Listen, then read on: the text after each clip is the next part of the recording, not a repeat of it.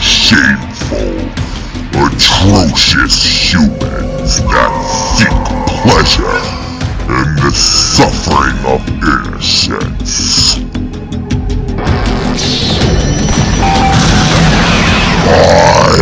I will devour